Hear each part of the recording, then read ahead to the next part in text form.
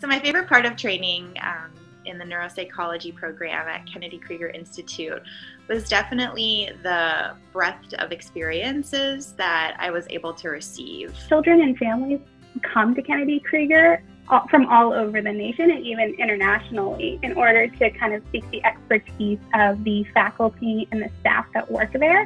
Here you have six major rotations um, that offer training in oncology, training in specialized outpatient clinics, as well as um, inpatient rehabilitation neuropsychology, which is sort of rare variety of individuals and children that we were able to interact with at Kennedy Krieger Institute. It really made me feel prepared um, for for the future. What I loved about living in Baltimore was um, it's a very unique kind of quirky city, so it has its own personality. One thing that I really enjoyed about living in Baltimore was being so close to other major cities. You are close to, you're an hour away from Philadelphia, you're an hour away from DC, you're a train ride away from New York City, so it's really accessible to other big metropolitan areas as well.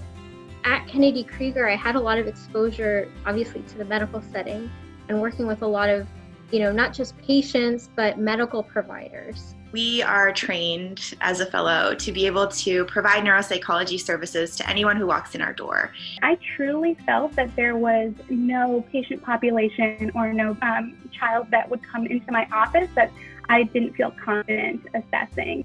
Kennedy Krieger Institute prepares you really well for your next position uh, because the the training is so broad that you get experience in several different areas of neuropsychology and specifically pediatric neuropsychology that um, when you're out of the job market, you're very competitive. Kennedy Krieger's neuropsychology program reputation really precedes itself.